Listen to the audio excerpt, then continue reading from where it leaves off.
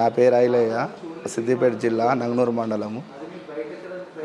మా బావకు క్యాన్సర్ ఉండే ఇక్కడ టాబ్లెట్లు వాడుతున్నాము తగ్గింది. క్యాన్సర్ హాస్పిటల్ తీసుకుపోతే ఆపరేషన్ చేయాలా బ్యాగులు పెట్టాలన్నారు.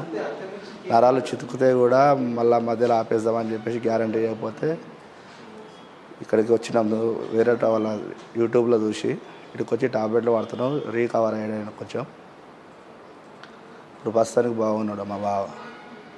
ఫిఫ్టీన్ డేస్ వాడాము. రీకవర్ అనిపించింది. మళ్ళీ టాబ్లెట్ల గురించి వచ్చినాము హాస్పిటల్కు. వేరే వాళ్ళని కూడా తీసుకొచ్చాము. వాళ్ళకు కూడా బాగుందని చెప్పారు. అందుకే మేము మళ్ళీ టాబ్లెట్ల గురించి ఇక్కడికి వచ్చాము.